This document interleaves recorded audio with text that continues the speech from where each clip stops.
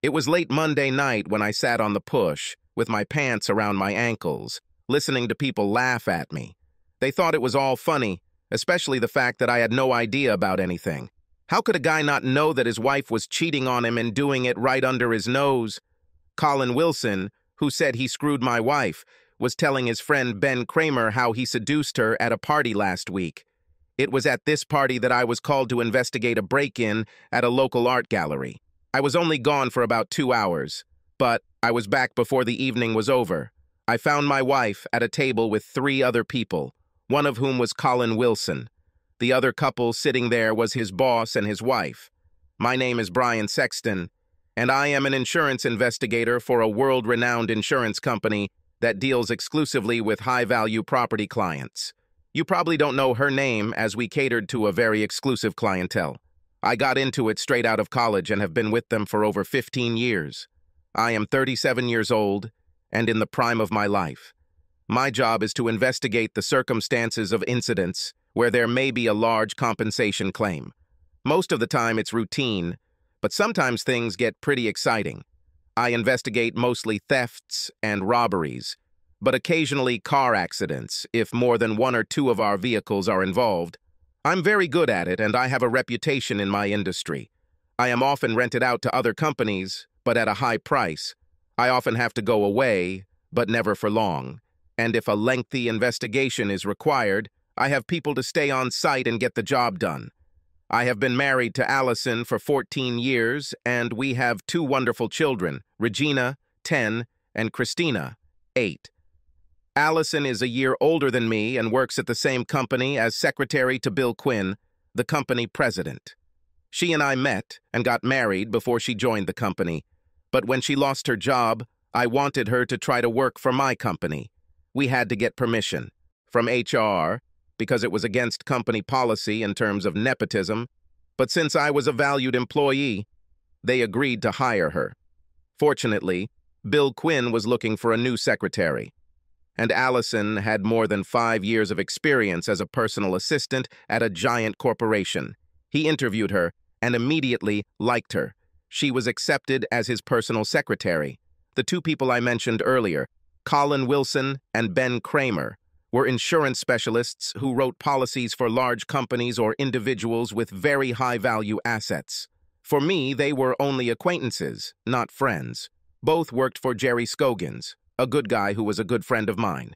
I reported directly to Bill Quinn and worked independently most of the time, but occasionally received interesting assignments from Jerry. The conversation I overheard took place a week after the party, I went to the toilet to relax and sat there for a while, pushing and sweating. I ate some scallops for lunch a day ago and thought they might have been a little stale. While I was cursing my fate, Colin and Ben walked in. They seemed to ignore the closed booth door and began talking about the party. That's when Colin started bragging to Ben about his latest conquest. I listened to the story of increasing pain in my intestines that had nothing to do with cramps and sweat from bad fish. How did you get into her pants? I didn't think she was that kind of woman. Go ahead, tell me, since I wasn't there. We did a couple of dances and she was pretty friendly, but Brian was there and she just smiled when I asked her to come to my office. She said Brian wouldn't be too happy if she did that. So what then? What did you do? Well, I talked her into having a drink with me at the bar while Brian was dancing with Judy, his secretary. I asked the bartender to make me a double shot and then switched our drinks while she was talking to someone. This was the easy part. I just wanted to get her a little drunk so I could touch her on the dance floor. You know, take what you can get. Yeah, but Brian was still there, so what could you really do? Hey, wait a minute. Didn't you arrange for his departure? Hell no. It was just dumb luck. We were doing a quick dance when he came over to tell her he needed to go away for a while. She wanted him to take her home first, but he told her to stay and have fun, as he was sure that he could return soon. She wasn't too interested in it, but she stayed. She sat with me, Jerry, and his wife. And what happened next? Finally get to the good part. Well, Brian left and I ordered her another drink. I made Joe do the double again, and she didn't notice the difference. We did a couple of slow dances, and by then she was almost out of it. She hung on me while I grabbed her ass, and a couple of times she pressed herself against my tool and giggled. I figured one or two more drinks would be it. I took her to another one, and she drank it like a pro. I can see exactly how this is happening. Well, yes, another double, and she felt dizzy. I invited her to go outside to get some air, and she readily agreed.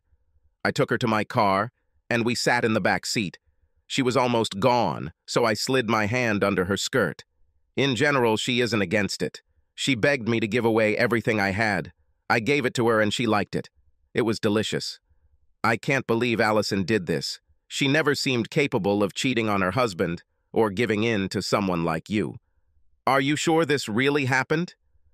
I'm not feeding you crap. I have a date with her next Saturday when she usually goes to get her hair done.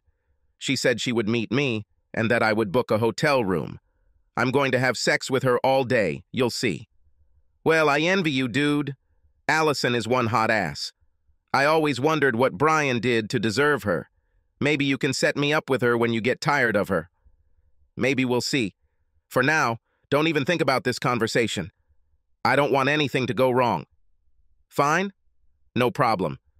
They both came out of the toilet while I sat there trying to keep my stomach from coming out through my mouth. I couldn't believe what I just heard.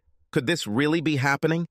I began to remember that evening. It was almost 11 when I returned to the party and Allison was sitting with Colin Julie and Jerry Scogans. Allison didn't seem to be drunk when I sat down and was talking to Julie about the kids. Colin spoke to me, but didn't stay more than a few minutes before leaving. I noticed Allison say something to him, but I didn't think anything of it. The only thing that was strange that evening was that when we got home, Allison wanted to make love. It wasn't that unusual, but she usually didn't want to do it this late. She was especially hot that night. Guilt? Repentance? Maybe.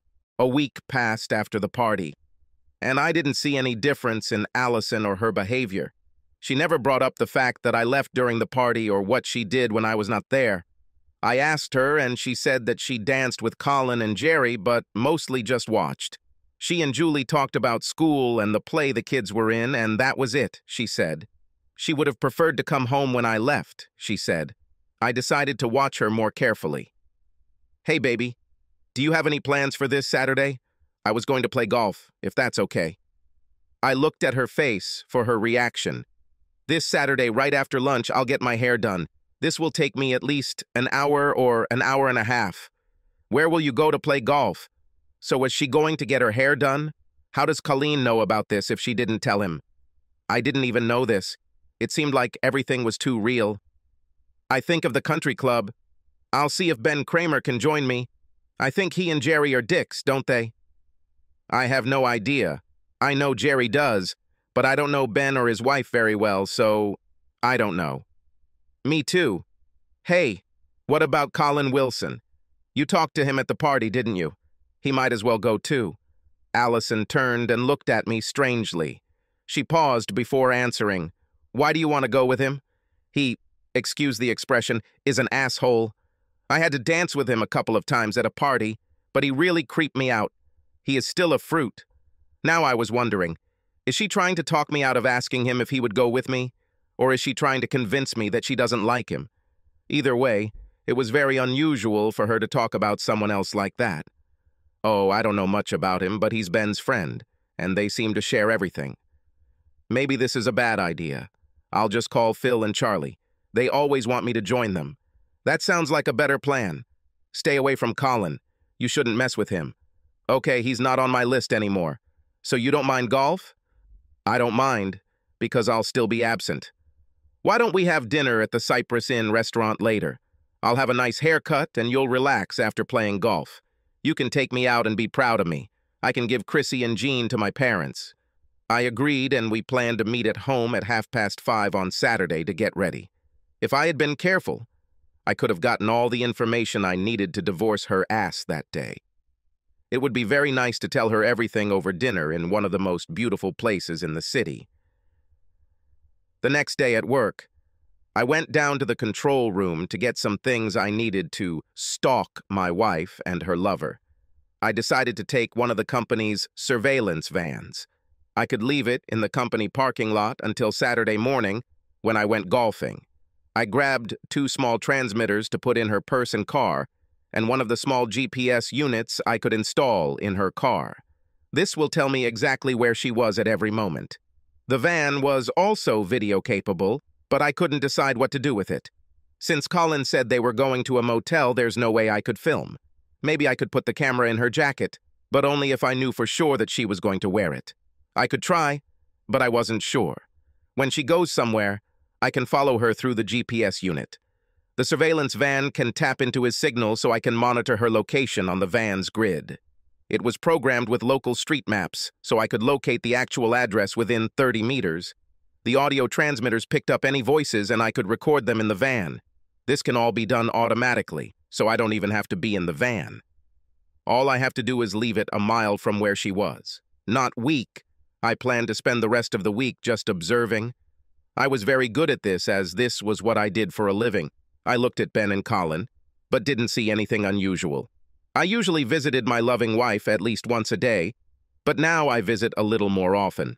I still hadn't seen anything to make me suspicious, but I decided to try to see what I could get from Ben. He was working on policies for a large factory complex, and I used to spend some time just looking at the site and putting together contingency plans for a possible disaster. This was called risk analysis, and was part of any risk insurance process. That Tuesday I stopped at his desk across from Colin. He was working on his project. Hello, Ben. Today I'd like to take a look at the Baxter plant plan. Do you have time to take me?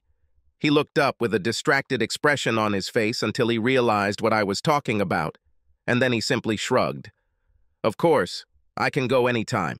I still need to go back there to take some pictures. When do you want to go? How about an hour or so? Great. I'll stop along the way and pick you up at your desk. Afterwards, I said a few more words, and as I turned the corner, I looked back just in time to see a grin between Ben and Colin. They looked at me the whole time until I left their sight. Interesting? Assholes. I decided I was going to make Ben pay.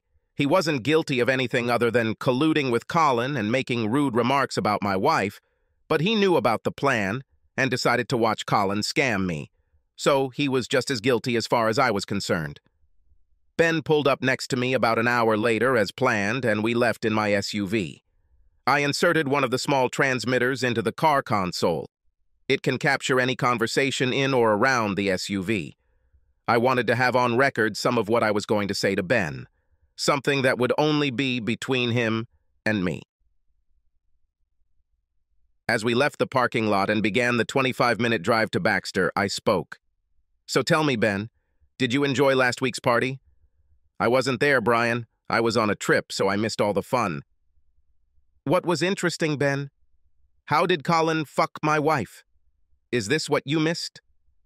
Ben was stunned and didn't know what to say.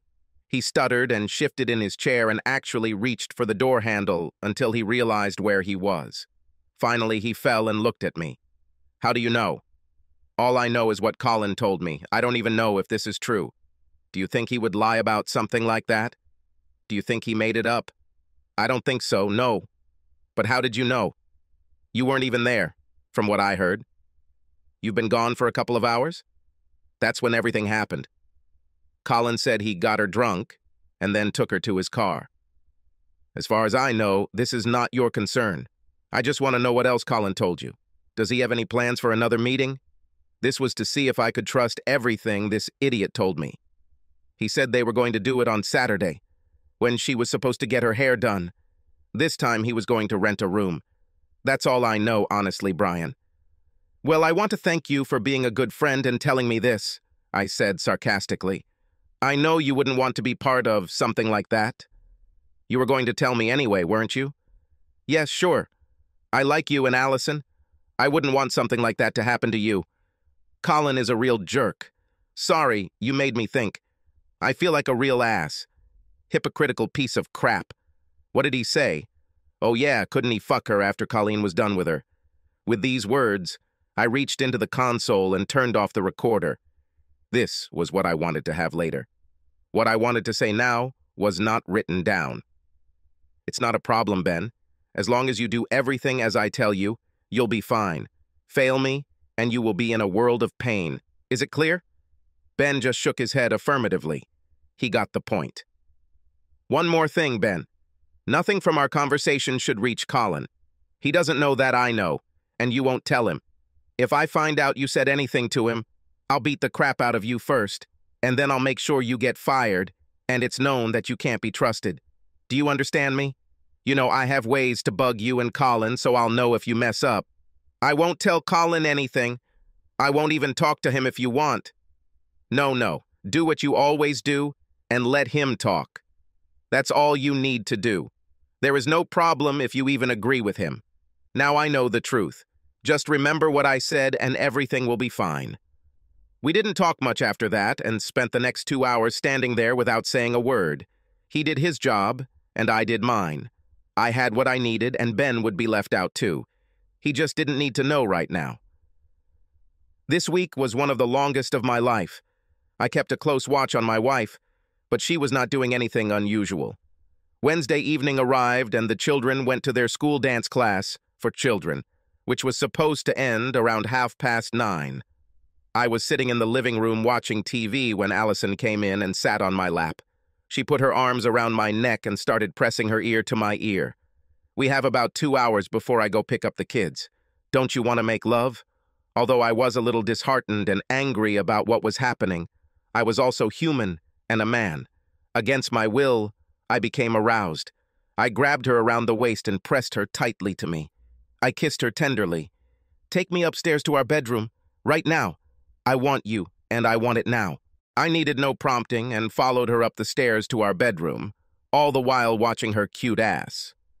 On the way, we started to undress. And then there was mind-blowing sex between us. When it was all over, then for some time we simply lay in each other's arms, not feeling the need to speak or disrupt the mood with action. This was love at its finest. For a while I forgot my doubts and fear that this could very well end for us, I wanted to forget and believe that it was all a lie, but she wasn't meant to be. That was quite nice, husband. I think we need to do this more often, don't we? We seem to be out of sync for a while. Let's not let this happen again. Fine. Fine. I'll definitely work on this. How much time, and do we have a minute to take a quick shower? I have to pick up the children after nine but we can pick them up later if you want now, or wait until our date on Saturday night. I can ask the children to go to their mothers for the night. How about this? I'm on a date. Anything else on Saturday? How is it okay? You have golf and I have a meeting with the hairdresser. Then, love, we have a dinner date, and after that, I'll be yours whenever you want. And you better do lots and lots of that for me. Do you have a better offer now? No, no. Okay, then we're in touch. Allison quickly got dressed and went to get the children. I lay there for a while, just remembering what had just happened. How could this woman make love to me like that if she had sex with that shit-eating Colin Wilson? I knew she was smart, but was she also a good actor? Something was definitely wrong, and I was going to find out on Saturday. While she was gone, I checked the transmitters and found that they were working fine. I planned to install them Friday night in her car and Percy. I had everything ready except for one more meeting with Ben Kramer. I needed to find out what hotel Colin had booked at. Ben will find out for me, or I'll do something he won't like. The next morning, I called Ben and asked him to meet me in the third floor cafeteria. He agreed without comment, and when he came in, I was sitting at one of the tables. He joined me without saying anything, and I quickly got to the point. Ben, my friend, I need you to find out from Colin where he plans to take Allison on Saturday. I need the name of the motel and where it is located. All you have to do is catch him somewhere alone and ask him. Tell him that you think he's feeding you crap, and that if he tells you where he's taking her, you'll believe him. I smiled at Ben as he tried to figure out how he could do what I asked. He was afraid that I would do something if he didn't. Finally, he agreed, but asked how I would know if I would tell him where they would meet. I told him not to worry about it. I have ways. With that, he walked away, but not before I hugged him and tucked one of the transmitters under the collar of his jacket, reminding him of our agreement. He was so scared of me that he never felt anything. It was almost invisible, held in place by glue, and he didn't notice it. I returned to my office and turned on the receiver. The place was buzzing and let me know that Ben was back at his desk and talking to Colin. I heard him ask Colin to meet him in 10 minutes in the copy room. Colin agreed, and then nothing happened until Ben stood up to meet Colin. I went back to listening. What happened, buddy? Do you have problems with politics? I'm the best you know. Nonsense, Colin. I was on set with Brian yesterday, and he doesn't seem to have any problems at home. I asked him if he was okay, and he said something about how it couldn't be better. I think you're feeding me crap about his wife. Hey, dude, nothing but the truth. I wouldn't lie about something like that. Why do you not believe me? Where are you taking her on Saturday? You said motel. What motel? Maybe if you show me the receipt for the room or something, I'll believe you. Otherwise, I think you're screwed. Oh, yeah? I already have a reservation at the Skyview Motel on Statler Street for Saturday night. I can check in at 2 o'clock in the afternoon and she will be there by 2.15. How do you like this fact? You can call Skyview and check my name on the reservation. Is this enough for you? Do you want to use my cell phone? Okay, I think this will do. I really envy you, Colin. Allison is truly something. I hope you know that she has a good marriage with Brian that you are trying to ruin. You better be careful and think about it. It's not my problem. If she's ready, so am I. Anyway, how good can a marriage be if she wants sex with me? That was all that was worth hearing, so I turned off the receiver and just let it record the rest. Now I was almost ready to believe everything. I was really hoping that Colin would back down and admit that he made it all up, but now he had confirmed the number and was just waiting. At least I had the address so I could connect it to the equipment in the van and let the rest work automatically. Maybe I could just park the van there on a Friday night, turn on the equipment on Saturday around noon, and forget about it. Everything else will be done automatically, and I won't need to be nearby. I didn't want to see or hear my wife as she tore my heart out and stuffed it in the toilet. Now I was lost. I could only continue and try to get what I needed to get back at her, Colin and Ben. The first thing I did was call the motel, and they confirmed that Colin was registered. At least part of it was true. Now I just had to wait until Friday evening. But then I had a thought. What if I could take a photo of them entering the motel room? I decided to visit the motel that day and see what I could do. I walked into the Skyview Motel office and waited for the clerk. He was an unscrupulous character, which was good for me. Honesty is not what I was looking for right now. Hi, friend. I am an investigator for an insurance company and I need information. I have an ID and a warrant for you. With that, I quickly flashed my badge and handed him a genuine document, which to most people looked like a search warrant. It was a fake, but I was counting on the fact that he was not smart enough and that he would be easy to deceive. The hundred dollars I slipped on him didn't hurt either. Yes, sure. What do you want to know? I asked him to confirm Colin Wilson's reservation and asked if he had a room number. He said no, so I asked if he could give him a room on the first floor overlooking Statler Street.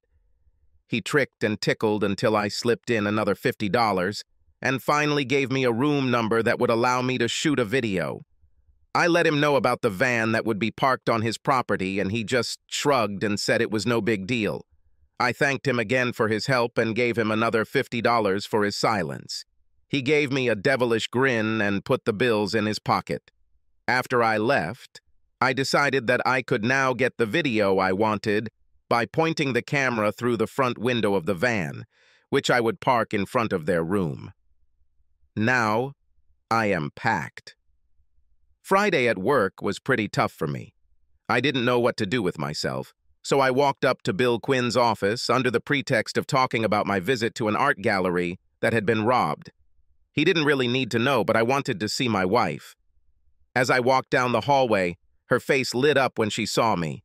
She waved at me, beckoning me to her table, and I walked over.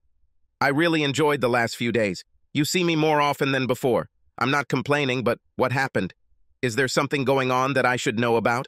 Nothing like that, as far as I know. I just like seeing you, that's all. Is Bill inside? Me too. And yes, he's inside. Do you want to meet him? Yes, if it's possible. I need to talk to him about working at an art gallery. I went in and talked to Bill for a bit. Bill was very young to be a president, but I knew that he had made a reputation for himself some time ago. He launched this site, as well as most of the other places, and put them into operation. I knew he owned a good portion of the company. He had a wonderful wife named Naomi, whom I met several times. She looked like your typical trophy wife, blonde, slim, sexy as hell, and truly gorgeous. She and Allison were about the same age and talked often, and Bill and I were quite close. While I was there, I asked him point blank what he thought of Colin Wilson. At his request, I often spoke about the work of other employees, as he insisted that I take on more responsibility as management, but the issue was mine. Why do you want to know about Colin? Is there something I should know about? I need you to tell me if one of my employees is having problems or causing problems. This is true? Well, I might have big problems with Colin. I don't really like him and Ben. Perhaps I may have more information for you this weekend. If everything works out as I expect, I'd like to be able to call you at home on Sunday if that's okay. Otherwise, I'll wait until Monday. Let's see. Until then, I'd prefer you not tell anyone about this. Fine. No problem. I'll wait. You know I trust your judgment on these things. You have always been fair in your assessments, and I respect that. I would just like you to consider taking the position of vice president that I offered you. As per your request, I still haven't mentioned this to Allison, but she should know about it. In fact, if you don't tell her soon, I will. I'm just waiting for the right time to bring this up. This means a lot of changes for us, so I wanted some time to think about it. I'll be sure to let you know next week. Is it coming? This is cool. So, are you finally going to look into it? I promise I will do it. I've been thinking about this a lot lately, so I need to make a decision soon for my own reasons. I walked out of his office, stopping to say a few words to Allison before heading towards Ben. At his desk, I stopped for a second and said loud enough for Colin to hear that I thought his assessment of Baxter's performance was correct. I then gave him a thumbs up to let him know that I had heard his conversation with Colin. His eyes opened very wide, but like me, he said nothing. He just nodded. I patted him on the back as I removed the small transmitter. As before, he felt nothing. I finished the day without any distractions and waited for Allison before heading home. I wanted to tell her that I needed to take the van to someone and that I would catch a taxi to my car, so I would be a little late. She kissed me goodbye and went home. I noticed Colin standing by the door, watching her leave. He looked at me and turned away to return to his seat. I dropped the van, locked the camera in position, making sure it captured the right room the clerk gave me. I locked it and reminded the motel owner that I was supposed to leave it there for the night, and maybe tomorrow. I slipped him another $20 and thanked him for his understanding. He put the money in his pocket and shook hands. With that, I went home. Friday night at home was another surprise. Allison ordered pizza for the kids and said she made sure they went to Grandma's that evening. I asked why, and she said she enjoyed Wednesday night so much that she wanted to continue it tonight. Do I mind? Not so much. Well, Friday night was almost the same as Wednesday night, except we did something new. While I was enjoying it, I had a sickening feeling thinking about where she could have learned all this, but when I asked her about it later, she giggled and pulled a book out of her nightstand and showed me an article about making love after 35. I'll be damned if most of what we've been doing the last two nights wasn't there. I really enjoyed it that night. I tried to do everything she wanted me to do, and I succeeded. It took most of the night, but so what? I promised myself that I would take some Viagra. We lay next to each other, and I finally plucked up the courage to ask her where all this came from. Allison, I like what we do, and I really want to please you, but I have to ask, where does it come from? Why now? If I didn't trust you so much, I'd wonder if there might be a guilty conscience involved. Sorry, Brie. Naomi told me something last week that I can't repeat. I just keep thinking about us and the girls and our life together, and it makes me so happy sometimes that I just need to express myself. It turns out that I chose this path because I wanted to show how much you mean to me. I listened, and seeing her happy made my heart burn. But the next moment I wondered, if this is true, then how can she have an affair? Should I ask her? I'm glad you feel that way. Are you sure I make you happy enough? Are you satisfied with our lovemaking, or are you missing something and that is why you are doing all this new stuff? Tell me honestly. I love the way we make love, and you have always satisfied me in every way.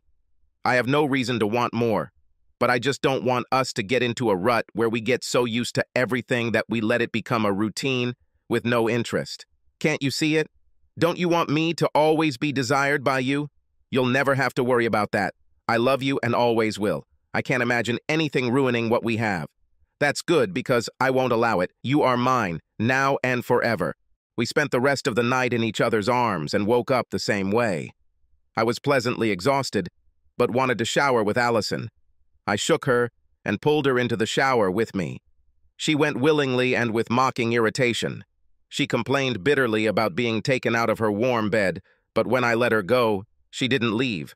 We turned on the water, and she quickly moved into the spray, turning to hold out her arms for me to join her.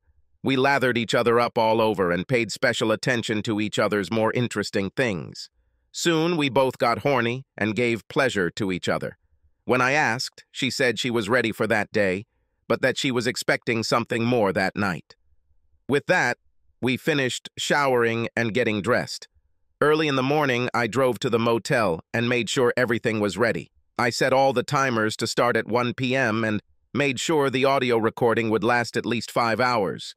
The video was written to DVD and would take at least seven hours after compression.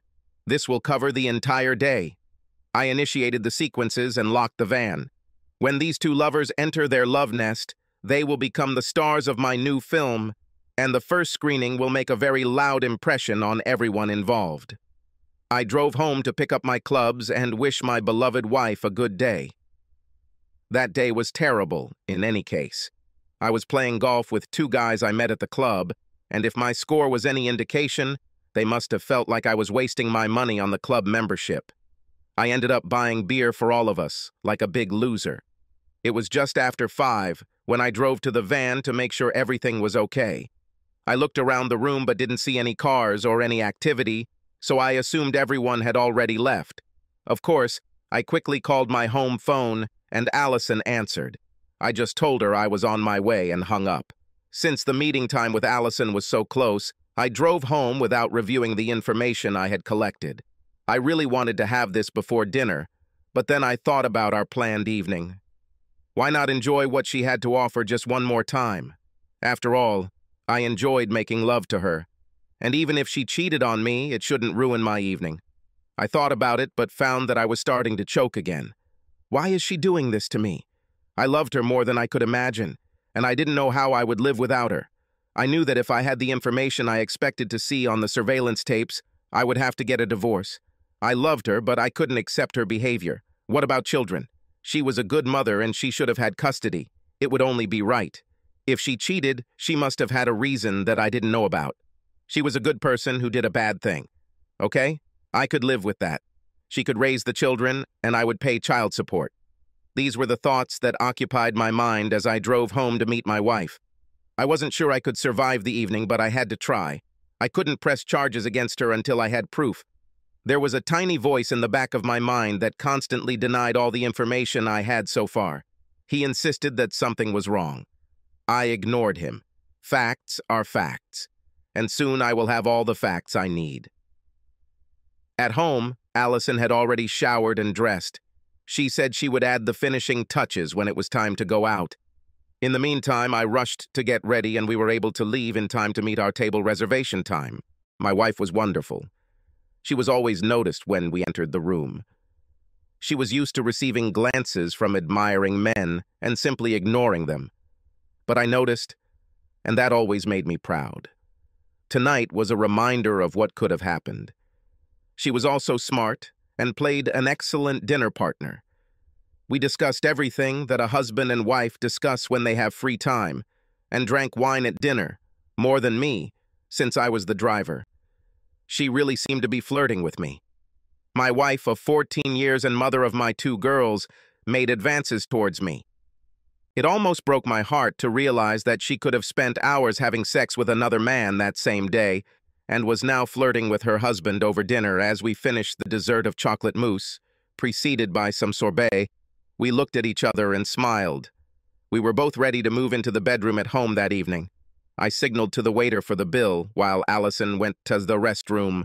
We walked out hand in hand and walked to the car. As I turned onto the main street and headed toward our house, Allison walked up to me and leaned her head against my shoulder. She lifted her hand to remove one of my hands from the steering wheel and lowered it to my lap. With little prompting, I hugged her like we did when we were young and in love for the first time. She sighed and relaxed. We drove home like this, slowly but comfortably. At home, Allison was walking around the house, doing all those little preparations to get things done, and finally she looked at me. Shouldn't we go upstairs and pick up where we left off this morning? I think you owe me something since you only gave me a down payment earlier. Remember? I remember. You lead, and I will follow. We quickly went upstairs to the bedroom, and Allison stood in front of the bed. I stripped down to my boxers and socks. She took off her top and bra, leaving only one strand of pearls on. She reached out to remove it, but I stopped her hand. Leave them alone. You look so sexy standing here wearing nothing but the pearls around your neck. You are incredibly beautiful. I could watch you all night. This is something only you will see. I am completely yours, and I want you to do whatever you want with me. I want this night to be the first night of the rest of our lives together. Are you sure? Is this what you want? I wouldn't do anything to hurt you or make you feel ashamed. You should know that. I trust you completely and give myself completely to you. I love you with all my heart. At that moment, I believed her and knew that no matter what I found the next day, I would never give up on her. I would put it off until tomorrow. Tomorrow. Today I will love this woman with all my heart. That night, we did something I had never done before. We made love in positions I didn't think possible, and she did things to me that I never thought possible. Sometimes she would laugh and quote the page number when I asked her about her fantasy. But it was a magical night. That night, I learned to love talking, giving, and receiving. God, what a night! We fell asleep in each other's arms and woke up late Sunday morning. She didn't want to get up, so I suggested an encore of one of our favorites from the night before. She quickly agreed, and we made love one more time before finally getting up. Sunday meant she had to pick up the girls. I said that I needed to get there quickly to check on the van and that I would be home soon. She said she would probably stay at her mom's for a while before returning. This left me time to get the tapes from the van and see what they contained. I still had to check what I left in her purse and car, but that could be done later. She left, and I drove to the van. I got all the films and prints out with no problem and took the van back to the production facility. I called a taxi to pick me up and take me back to my car and drive home. The first thing I did was look at the GPS printout. She told me that her car was indeed on Statler Street, where the motel was. And from that moment, my heart almost stopped beating. I hoped against hope, but apparently it didn't happen. I almost didn't bother to go any further, but wanted to watch the video for myself to confirm.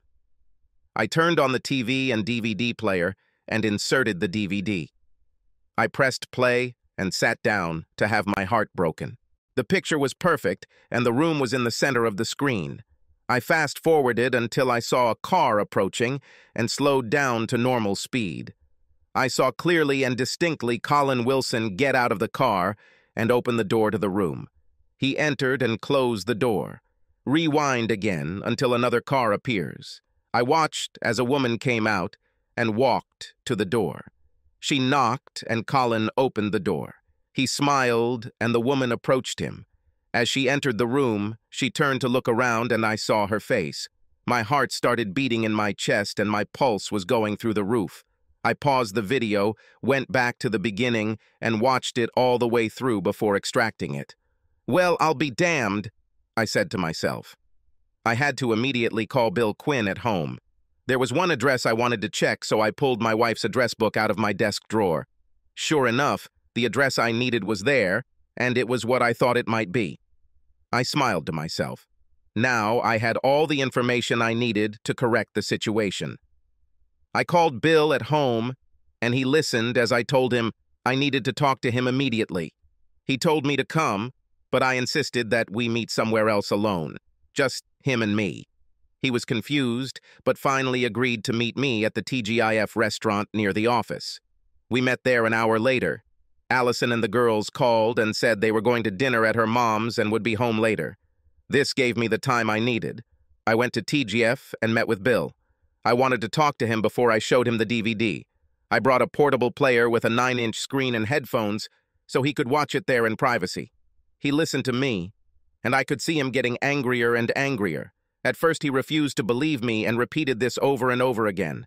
Allison could never do anything like that. I played the tape of Ben's meeting with Colin and then outlined everything up to this point and made sure that Ben and Colin were completely involved in all of this. Ben was less to blame, but what he hid was the beginning of the end for both of them. When he heard Colin talking about Allison, his face turned red and he became furious. He personally hired Allison and always treated her with respect, but I calmed him down and told him to watch the DVD before he said more. While he was watching the DVD, I saw his face fall, the pain was obvious, and I looked away to give him some privacy. He watched it all and finally stopped playing. He looked at me, and I waited until he was ready. When he calmed down, I made my only request. I want them both fired for violating the morals clause in their employment contracts, and I want them gone by Monday afternoon. If you agree with this, with all the information I have, you can do whatever you want. I will never mention this again. Bill looked at me in surprise, but began to smile. It was nice to see that smile. I didn't want him to be involved any more than necessary. I give you my word. This will be done first thing Monday, and I will personally escort them from the premises. They are like dead to me. I can also take further action, but it's better that you don't know what it might be. Fair enough. Fair. After that, I gave him a bag with all the surveillance data, with the exception of one small cassette, which I kept for myself. I needed it for my own purposes. My wife is in for a surprise. Bill and I talked for another hour or so and made some additional decisions that we'll take care of later this week. We shook hands as we parted, and Bill spoke to me again before I left. You are a good and decent person, Brian. I appreciate what you did and respect your actions in this matter. Things could have gone very badly if you were hotter. You have my gratitude and my respect. I felt better than I had for a while. I went home to see my family.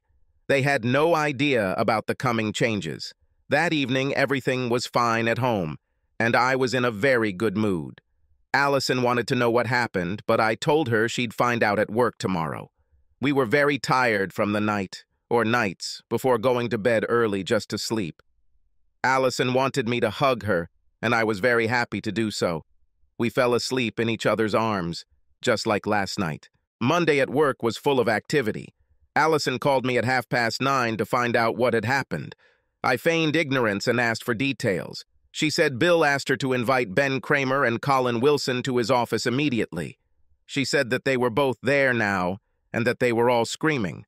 I said that I was completely confused and asked him to let me know what else happened. She called 20 minutes later and said Bill had asked her to get security to come see him immediately. She covered the phone while talking to someone at her desk and then came back to tell me that Bill had asked security to escort Ben and Colin back to their desks. She quickly hung up and promised to call back. I didn't hear anything from her for the next hour until she finally called to say that both Ben and Colin had been fired and that Bill wanted her to type up disciplinary letters for both. The reason for dismissal was to be a violation of the morals clause, she was very excited. This was the most unusual thing that had happened in her time as Bill's secretary. She demanded that we go to lunch together and discuss it. I agreed. Over lunch, Allison continued to talk about what had happened that morning. She told me they were both escorted out of the building and warned never to return. She said Bill had been angry and agitated all morning and even yelled at her once before quickly apologizing. Finally, she ran downstairs and asked me what it was. How do I know anything about this? Bill told me to ask you when I asked him. He said, Ask Brian. He knows everything about it, and he's the one who opened my eyes to a lot of things. That's what he said, so go ahead and shoot. Before I tell you what happened, I want you to listen to this tape first. I gave her a tape of Ben and Colin talking about the motel. She began to listen with interest, and then I watched as her face turned pale. She looked at me with her eyes wide open and her mouth making an oh, oh surprise shape. She listened to the end and then angrily took off her headphones. It is not true. He's lying. I never went to any motel with him and I never would. You can't believe this recording. Is this what you gave Bill? Does he believe this too? No, he doesn't believe Colin, and neither do I. I have something to explain to you, and I want you to just listen to me the whole time. You will do this. When I said I didn't believe the tape, she relaxed a little but was still angry and a little scared. She just nodded and indicated to begin. I heard Ben and Colin talking a little over a week ago. Colin told Ben about you and him at the party. He said he got you drunk and then took you to his car, and you had sex in the back seat. He was very detailed and described what he did and what you did and told it all to Ben. Ben listened and believed what he heard. You'll be glad to know that he was so impressed that he wanted Colin to include him in the next meeting. I was confused and tried to figure out how he could tell the truth. I couldn't believe it, but I had to be sure. Allison tried to interrupt me before I could continue, but I just didn't let her say a word. I needed to quickly uncover the truth before it exploded. I told Ben to talk to Colin, and Colin said he booked a motel room on Statler Street for Saturday afternoon when you were supposed to get your hair done. Then I was upset because how could he know about your meeting with the hairdresser if you didn't tell him? Do you remember I mentioned Saturday to you? We made plans for this evening. But he hasn't been there since. I calmed her down with a wave of my hand and trudged on. I decided to be absolutely sure it was really you, so I used one of the company's surveillance vans and set it up to track your car and take video of whoever came into the motel room. I asked the receptionist to give me the room number so that I would know where to record everything and watch it on Sunday. It was after this that I called Bill and gave him everything. Ben and Colin were fired at my request. Allison listened to me as I told her this story. She was still confused and couldn't believe that I thought she was the one with him at the motel. But I wasn't with him. I styled my hair just like I told you.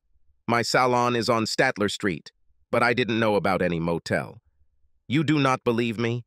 I actually know who he was with because she told me herself. It was... I quickly continued, cutting her off before she could let it out. I had to convince her that I trusted her all along.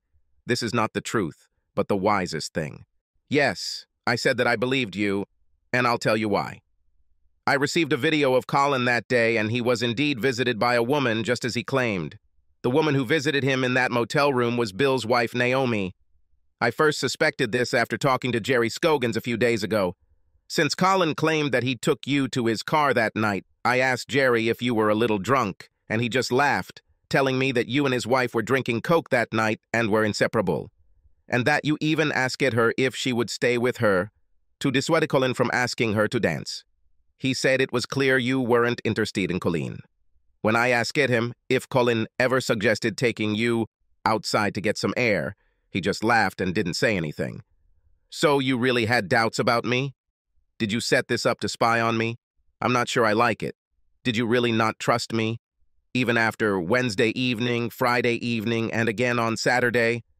Of course I trusted you, but I couldn't explain Colin's story. Why would he say such things if they are not true? Then it occurred to me that he was trying to distract Ben from who was really with him. If Ben thinks it's you, he won't ask any more questions. I had no idea who it was, so I had to find out the truth. I just wish it wasn't Bill's wife. He was devastated. We talked some more and finally had to return from lunch. Allison accepted my story about trying to find out who Colin was with, and I left her alone. I did have some doubts, and I was ashamed of it, but I didn't regret knowing the truth. We were in a good place now, and I didn't want that to change. Things had calmed down at work that day, but Allison called me and told me Bill wanted her to come talk to him later that day. I said I really didn't know what it was about, and I think she believed me. I didn't hear any more until that evening at home. We ate dinner, the girls were active as usual with phone calls and bathroom appointments and other things only they understood. But they finally curled up and went to bed. We enjoyed the silence for a while until Allison told me what Bill wanted. He told me to think about how lucky I am to have a man like you as a husband. He talked about trust, respect, and love, what it all meant, and what it was like to lose it. Finally, he told me about Naomi and what she had done and asked for my advice. And what did you tell him? Were you able to help him? I couldn't tell him what to do. I just asked him if he really loved her and if he could forgive her. If possible, I convinced him to talk to her and let her explain herself. But I told him that if he couldn't get past this and forgive her, then he should leave her right away. Don't drag your feet and don't let things become bitter. He listened to what I said, so maybe I helped. I'm sure it helped. He didn't mention anything about me? No, nothing more. Is there something else? Well, yes, there is. Bill offered me a position as the corporation's vice president of investigations. I would have complete control of all investigators in all offices around the world, and I would have a choice of where I lived. We could move to California or Florida or wherever we have a branch office with more than five investigators.